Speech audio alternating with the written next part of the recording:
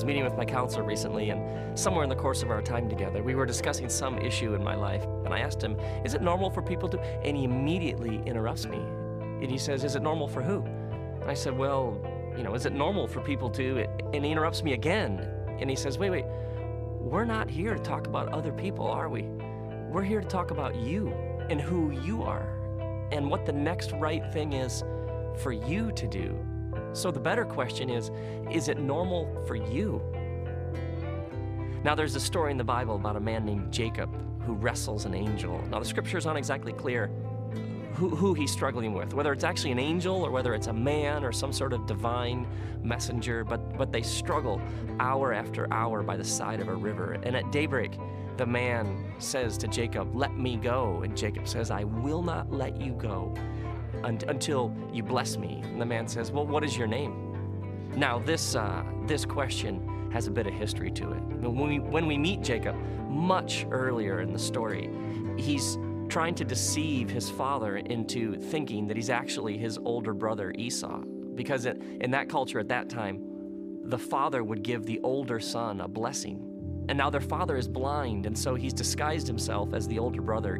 And their father Isaac, he senses something is not right. And so he asks, Who are you? And Jacob says, I'm Esau. When we first meet Jacob in the story, he's trying to be someone else. Now his older brother Esau finds out what he's done and he's furious and he threatens to kill him. And so Jacob leaves and he's on the run. Now, in the ancient Near East, your name was more than just words, your name was identity. Your name was reflective of your character, your substance. I mean, the very fiber that, that made you you. Your name told who you are. So when this man asks Jacob, What is your name? The real question he's asking him is, Who are you? I mean, how much of our pain comes from not knowing how to answer that question? Soon after his resurrection, Jesus is having a meal with his disciples, and he's talking to one of them, Peter, about Peter's responsibility to lead Jesus' followers after he's gone. And Jesus says to Peter, He says, Peter, feed my sheep which is a way of saying, take care of my church. Jesus gives Peter this calling, this task, a vocation, something to do with his life. And then Jesus says to him, Peter, follow me. And what's Peter's response to the sacred, holy moment between the two of them? Peter looks at one of the other disciples and says, Well, well what about him? And, and Jesus replies, What is that to you? You follow me.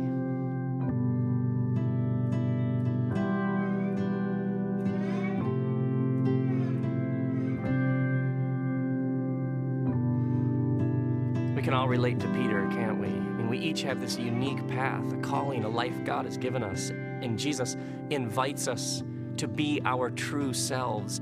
And yet we get sidetracked, we get distracted, we get hung up on how we're different from her or we aren't like him, and we end up asking the wrong questions.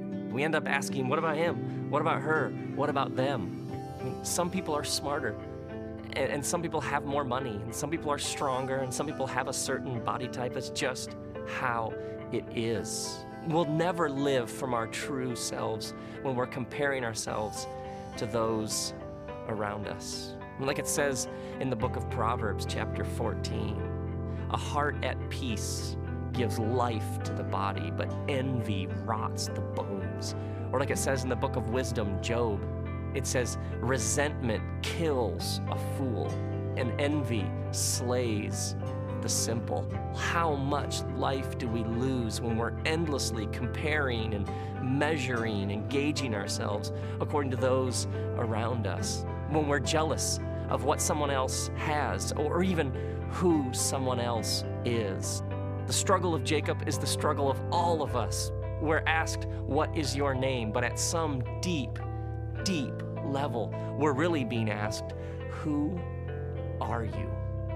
You and I have pasts, families we come from, things we've done, mistakes we've made, and, and where we've been and what we've done has shaped us into who we are today. And so we have to embrace our story, our history. You, you don't have to be proud of it, but you must claim it because it's yours. I mean, only when we can own our own history for what it is the good, the bad, everything in between can we ever begin to answer the question, What is your name? I mean, do you wish you were someone else or, or something else? You know, from that family instead of your own, with those abilities instead of the ones you've been given, with, with that body instead of the one that's yours. What is that to you? She has her path, he has his path, they have their path, and you have your path. You and I, we have limits. There are all sorts of things we aren't. There are all kinds of people that we aren't. Maybe this is why Jesus says to love your neighbor as yourself. How could I ever love and embrace someone else when I've never come to terms with who I am and then who I'm not? I mean, some people live their whole lives according to the expectations of others. Whether it's authority figures or family members, it's, it's as if there's this script that's already been written by someone else, and all they're essentially doing is just acting it out.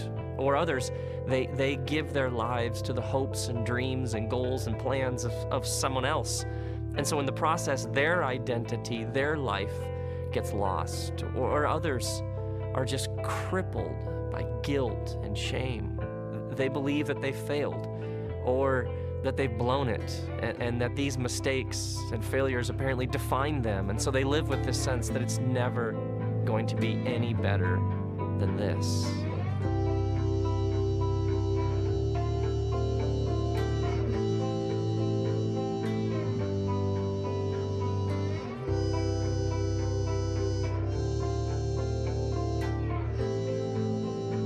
If you need spiritual direction, if you need counseling, if you need a fresh perspective, if you need the wisdom of a mentor or the words of trusted friends, get it. Ask for it because there's nothing more important. There's this moment by the side of the river as the sun rises and Jacob faces this man who's asked him the question, What is your name? And Jacob answers him, I'm Jacob he's struggled and he's been broken and he's done pretending. He isn't trying to be Esau or anyone else. Jacob has wrestled and overcome. Jacob is ready to be Jacob. He's okay with the life God has given him. It's actually at this point in the story that God then pulls him into his divine destiny as the father of a nation. It's, it's almost like God says, Are you ready to be you? Because there's a lot of work for us to do here together. And it's written in the scriptures that we work out our salvation. Do you know some of the things we need to be saved from? We need to be saved from all the times we haven't been our true selves, all the times we've tried to be someone else, all of the lies we've believed about who God made when God made us. All the times we've asked the wrong questions. What about him? What about her? What about them? And we've missed the voice of Jesus saying, You, follow me.